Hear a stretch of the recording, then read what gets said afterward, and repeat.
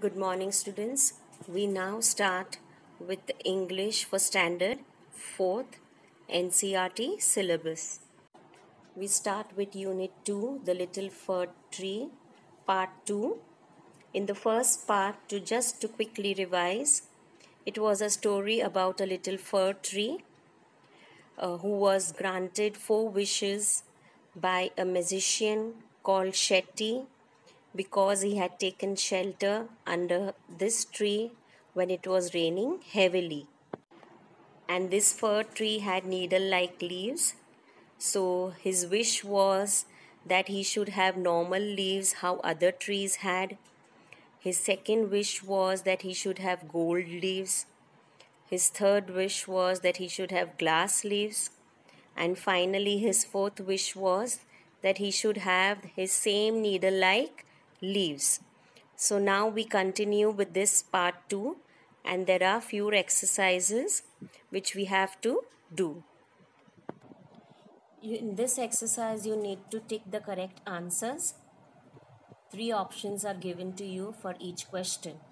Your first question is the pretty little fir tree was happy with gold leaves but your three options are a goat came along and ate them. All the leaves got wet in rain. A man stole them.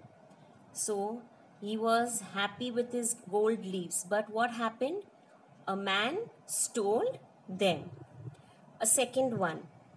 The fir tree was sad because it had yellow leaves, because it had needle like leaves, because it was very short. So why was the fir tree sad? Because it had needle-like leaves. The third one. The fir tree was not happy with gold leaves because the goats came and ate them up. A man stole them. The gold leaves broke. So again, he was not happy with the gold leaves. Why?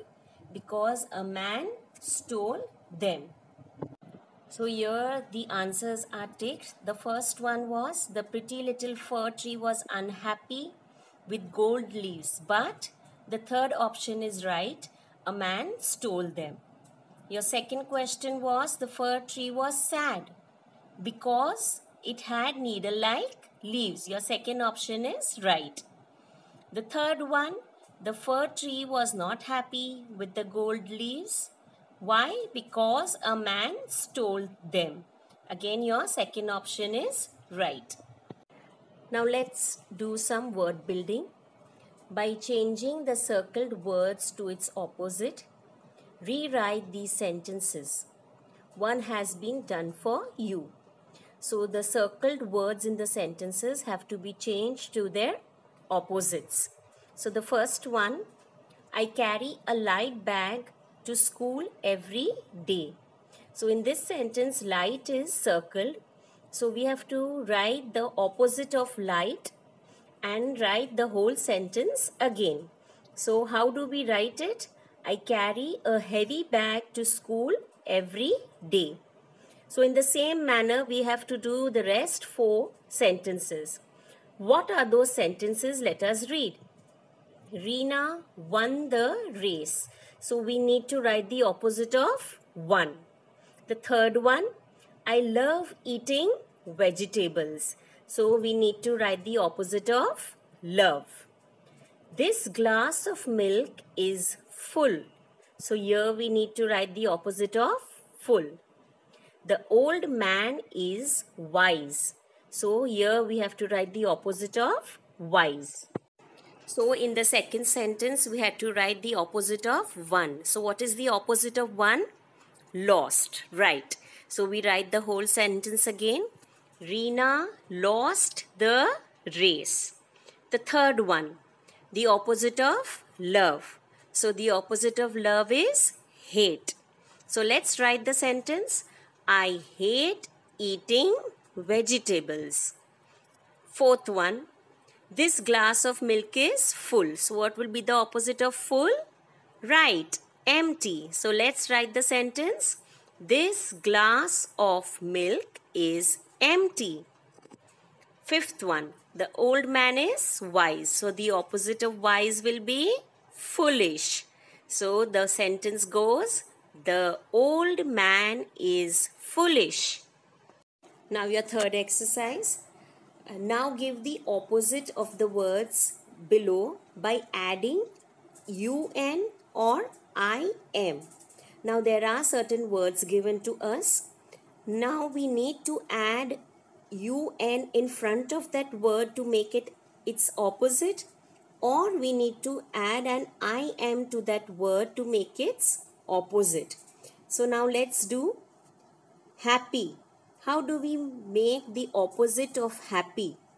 We have to add un in front of happy. So it goes like U N H A double P Y. It becomes unhappy. It becomes the opposite of happy. Second, polite. Polite opposite will be impolite. We need to add I am in front of polite. Seen. Unseen. Add U N in front of seen.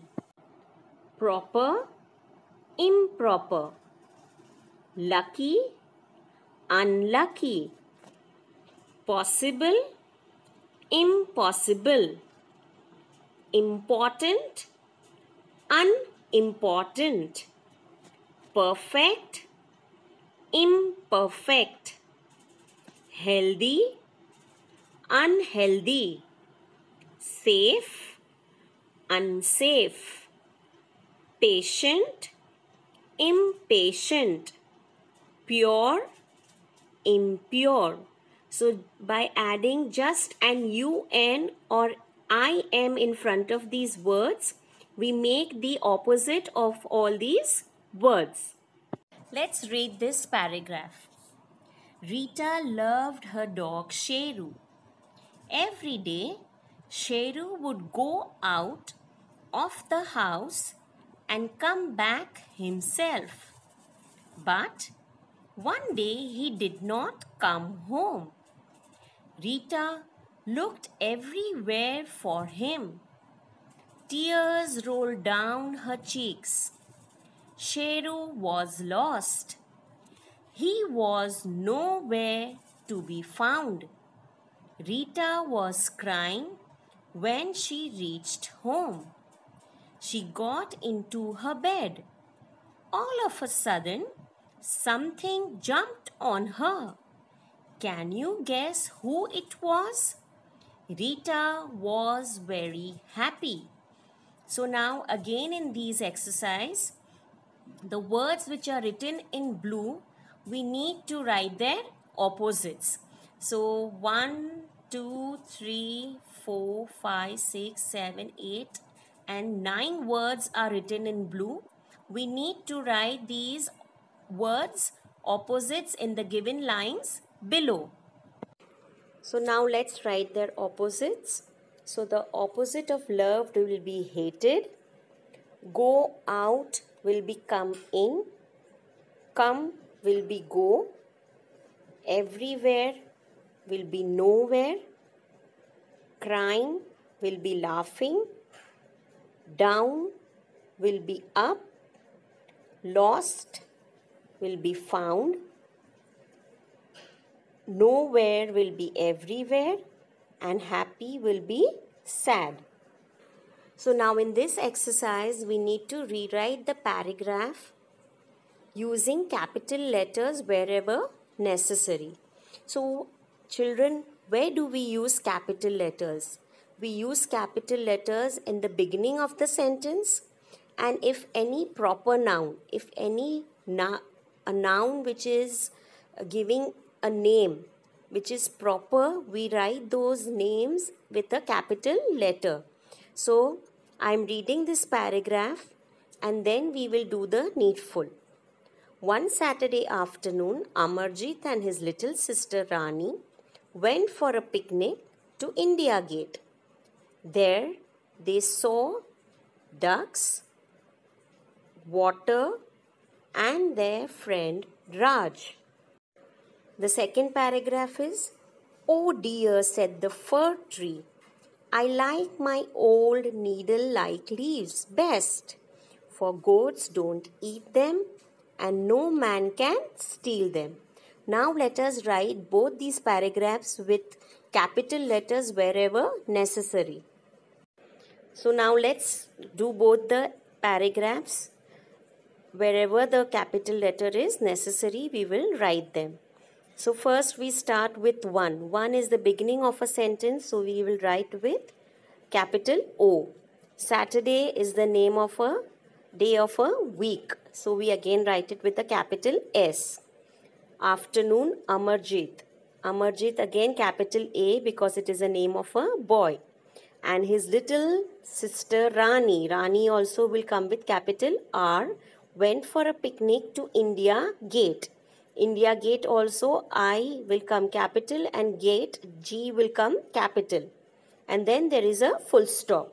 And remember again after a full stop always the next word will start with a capital letter. So there again we write with a capital letter. It is not a proper noun but it starts after a full stop. So we need to write that word, that alphabet in capital. So there they saw ducks, comma, water and their friend Raj. Again Raj will come with capital R. Now again the second one. Again we start O with capital O. Oh dear, said the fir tree. I. Remember children, I. Wherever it comes in the sentence, we always write I with capital. We never write I in small letter. I is always written in a capital letter. Like my old needle like leaves best for goats don't eat them and no man can steal them and we put a full stop. So here there are no proper names so we don't need to write anything in capital. Only the first letter and I will be in capital letters. Look at the picture below. In the yellow box there are 8 things. You can see 6 of them in the picture you cannot see the other two. Write down the four things that you can see. So now in this picture you can clearly see different things and eight things are mentioned in that block. Now in this block which four things we can see in this picture we will write any four of them in the space provided below. So let us read which words are given in the block ducks, mat, dog, girl, boy, tree, fountain, flowers. So from this, six things we can see in this picture. So out of these six, any four we can write. So here I have written boy, girl, ducks and tree. And which are the other two? Uh, mat and flowers. So you can write mat and flowers also if you want. Which of the following actions would make others happy or unhappy? So here are certain actions given to us which please someone and which does not please someone. Means it makes some people happy and does not make some people happy. So which actions are these? Let us read respecting elders, not saying thank you, being polite, playing with friends, visiting a sick friend, not sharing, watching television all day, telling lies, being greedy, caring for pets, getting angry easily, being honest. So here there are few actions and we need to write them in the columns given below. So now let us do this exercise. So now here are two columns given to us. In one column it is given that actions that make people happy and in the other column it is actions that make people unhappy. So as we just read all the different actions, now accordingly we will fill them into this block. So first one would be respecting elders. When we respect elders, people feel happy. When we uh, are polite, people feel happy. So being polite would be your second action. Third one would be playing with friends. When you play with others, other friends also feel happy. Visiting a sick friend.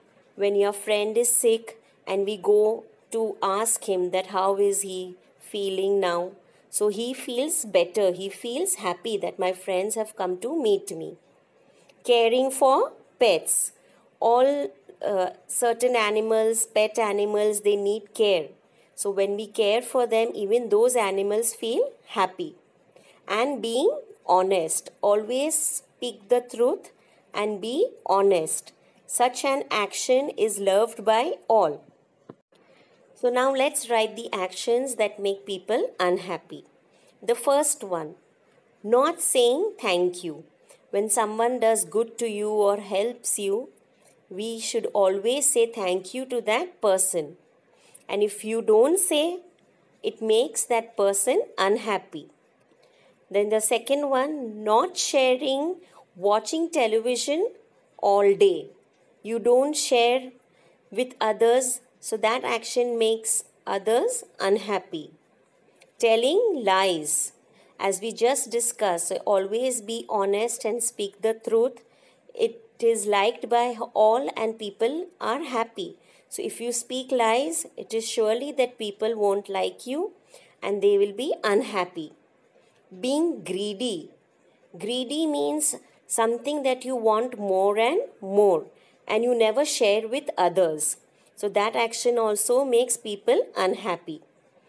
And lastly, getting angry easily. We should never get angry easily. We should always try to control our anger because this anger is a very cruel action in us. It makes us do many bad uh, activities. So always don't be angry and try to control your anger. So students, so I request you to write all the exercises that we have discussed in this part 2 into your English notebooks. So kindly keep in mind that you need to write very neatly in your English notebook. Thank you and have a nice day.